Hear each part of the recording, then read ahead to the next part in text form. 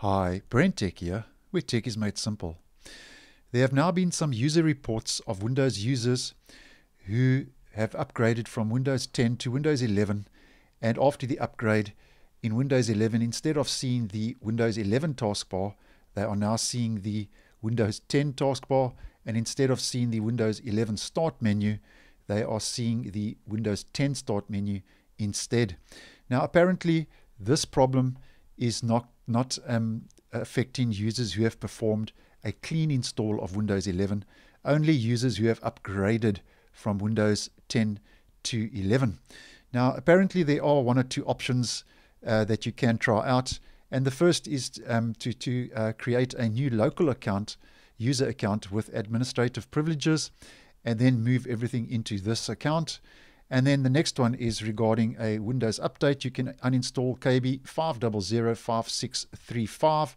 And how you do this is we just go to our Start, Settings, Windows Update, and Update History, and uninstall updates. And this is the update here, KB 5005565.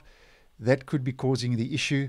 And you just go uninstall updates, and you just click on KB5005635, click on uninstall, and you just then follow the prompts after clicking yes, and then restart your machine, and that will take the update off your uh, device, and hopefully after that the problem would be resolved.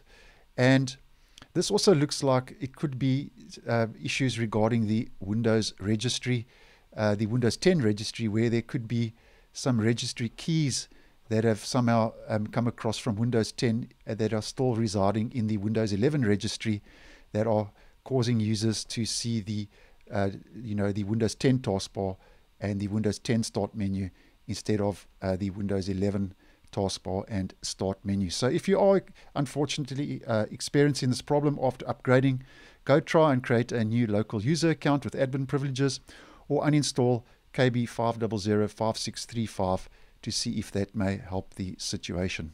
So I hope you found this video useful. Once again, thanks for watching, and I will see you in the next one.